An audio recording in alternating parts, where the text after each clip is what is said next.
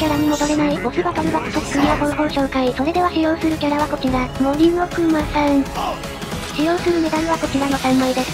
飛ばしでスキル1短縮と、クリティカルでスキル1短縮です。全然代用可能です。ボスバトル行きましょう。